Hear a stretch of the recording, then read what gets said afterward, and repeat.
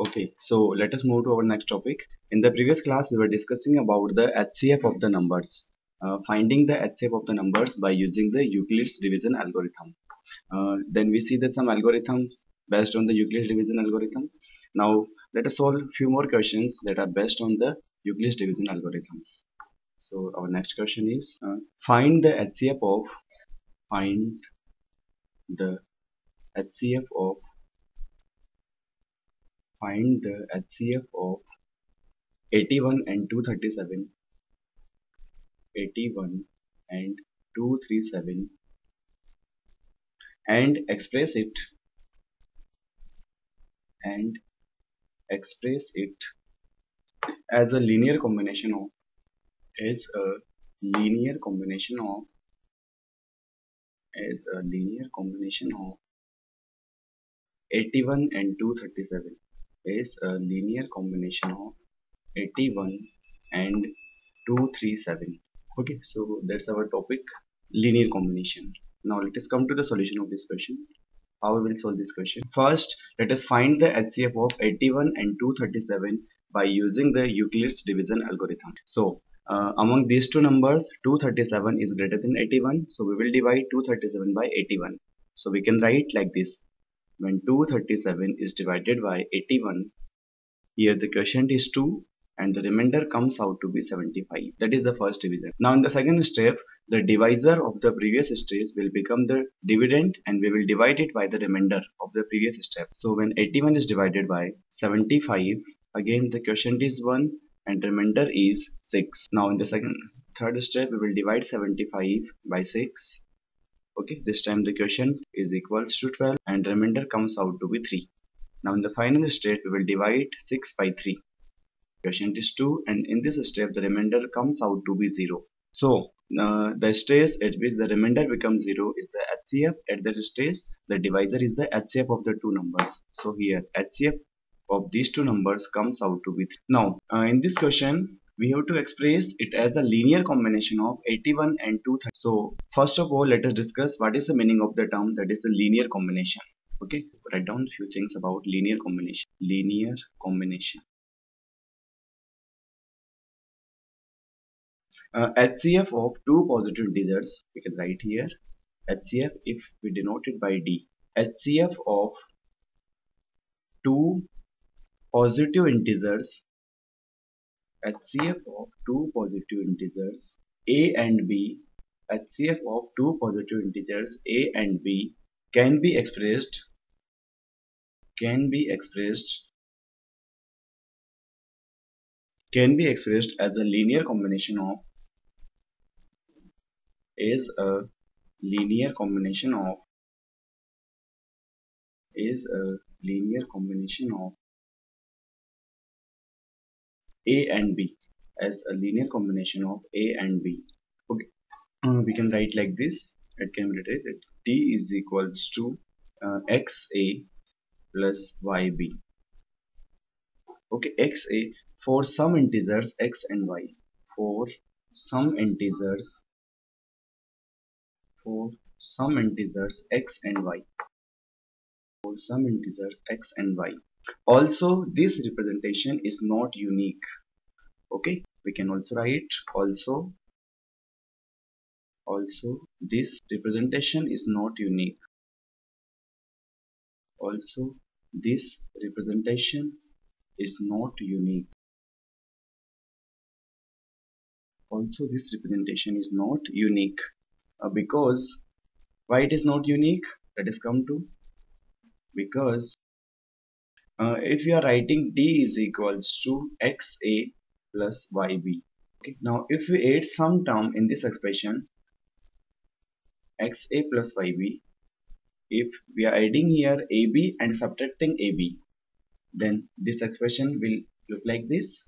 Now in the next expression we are taking some common from xa and ab then some common from yb and ab so our next next term will look like this. D is equals to it will look like this. D is equals to that is x plus a that is uh, sorry that is x plus that is x plus b into a plus y minus a y minus a into b. Okay so again we can see that a and b are expressed as a linear combination now here the coefficient are x plus b and y minus c. so that's why we can say this representation is not unique. Okay we can have many values of such x and y for which a and b can be expressed as a linear combination. Okay.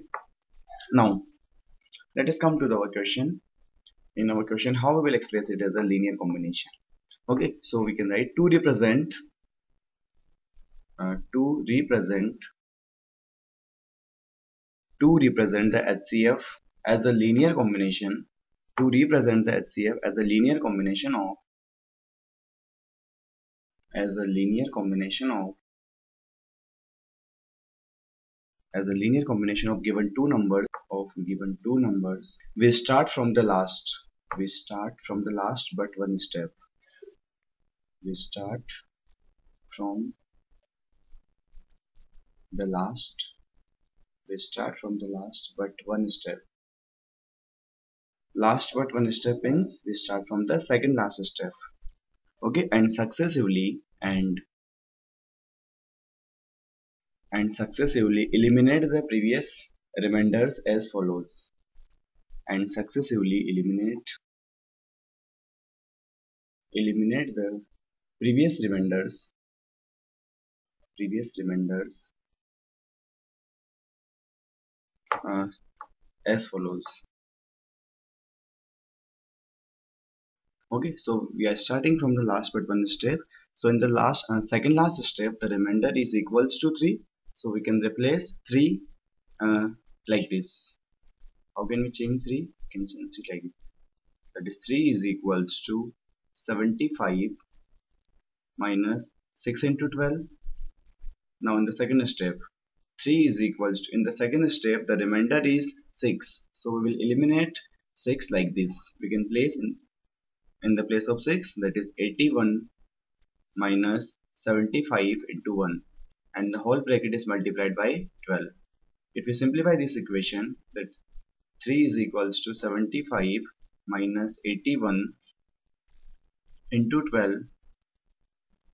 then plus 75 into 12 okay if we write this term systematically we can write 3 is equals to uh, 75 into 13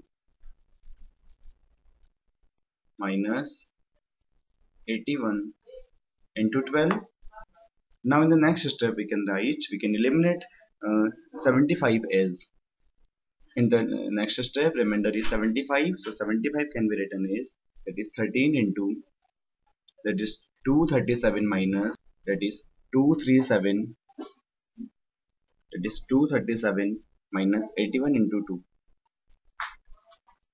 minus 81 into 12 now we simplify this equation then it will comes out to be that is 13 into 237 13 into 237 then minus 26 into 81 minus 12 into 81 and in the last step we can write that is 3 is equals to 13 into 237 minus 38 into 81 okay so now if we represent this like this that is 3 is equals to 237x that is 237x plus 81y okay now here we can write where x is equals to 13 okay here we can write where, where x is equals to uh, 13 and where x is equals to 13 and y is equals to minus 38